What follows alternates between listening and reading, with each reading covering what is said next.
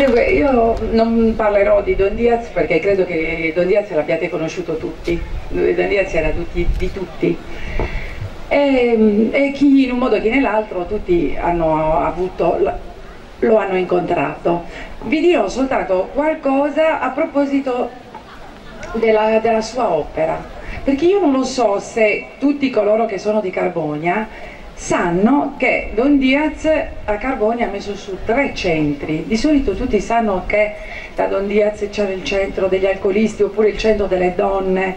Comunque, i centri che sono a Carbonia sono tre, come questi tre quadri. Uno è quello di Via Mazzini, dove noi accogliamo donne in difficoltà, ma soprattutto mamme con bambini in certi periodi, come anche in questo, abbiamo anche bambini soli che ci vengono affidati dal Tribunale dei minori. È una delle poche case in Sardegna dove vengono accolte le mamme con i bambini. Io sono stata soltanto per un periodo determinato nominata come esecutore testamentario, ma i veri eredi siamo tutti, siete tutti voi. Quindi questi centri vi appartengono, sono i vostri.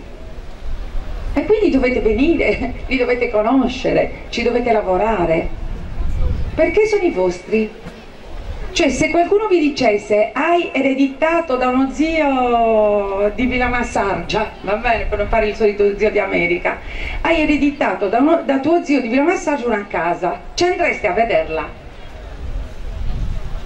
Ebbene, questi, i centri Don Diaz sono di tutti, sono fatti con l'opera di Don Diaz, con il lavoro di pochi iniziali volontari, ma poi sono fatti con il lavoro di tutti i dipendenti, ma sono fatti con i soldi pubblici, perché il comune di Carbonia e tutti gli altri comuni, per avere perché noi possiamo ospitare queste persone, i comuni pagano, le ASL pagano, pagano rette bassissime, però sono soldi pubblici e quest'opera è di tutti, d'accordo?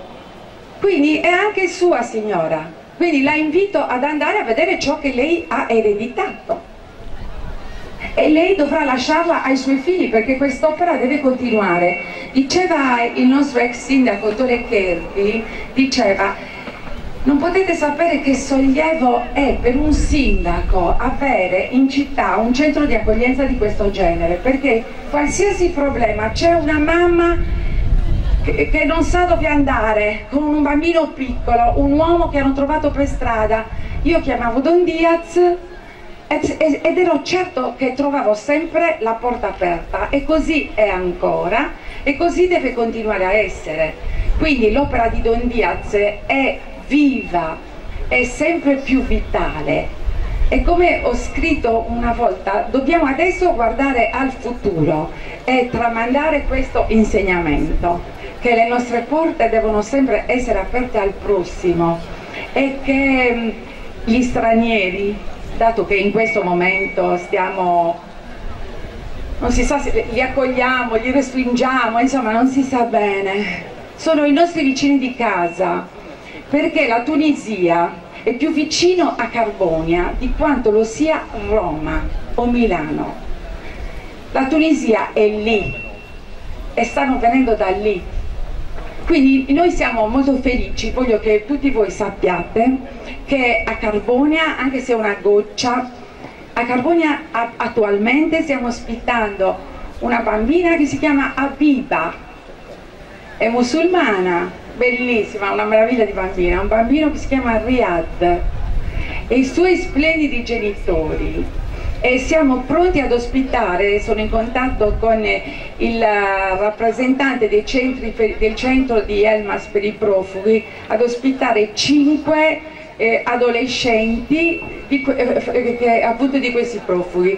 E volevo che siccome il centro di accoglienza è anche il vostro volevo che voi sapeste che state eh, ospitando e che state partecipando anche se una goccia nel mare all'accoglienza di queste persone Quindi voglio che vi ricordiate questo, i centri sono i vostri, venite a vederli, venite partecipate. L'ultima cosa, l'ultima cosa, voglio ringraziare pubblicamente tutti coloro, cittadini di Carbonia, che in silenzio portano ai centri molta provvidenza.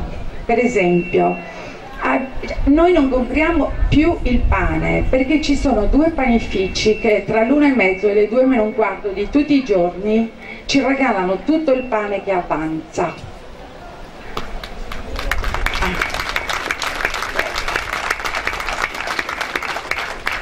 L'altro giorno sono venute due famiglie di Rom, ci hanno lasciato la roba sporca per la verità, sono venuti, sono lavati, hanno mangiato, erano un po' messi male e abbiamo vestito i bambini e non solo i bambini, anche le mamme. E papà da cima a fondo e per vestirli abbiamo tagliato le etichette perché ci sono molti negozianti, soprattutto i, i negozianti di, dei negozi di bambini che ci regalano scarpe, vestiti, ci regalano di tutto molte mamme che ci portano i giochi, molte mamme che ci portano loro le loro carrozzine, quelle che non usano più, che ci portano i seggioloni. Quindi voglio dire, la città partecipa, ma ci deve essere un'osmosi tra noi, cioè tra il centro che è di tutti e la città che è di tutti.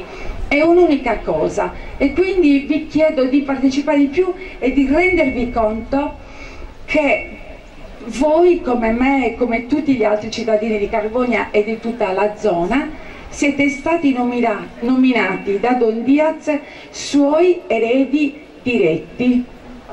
Grazie.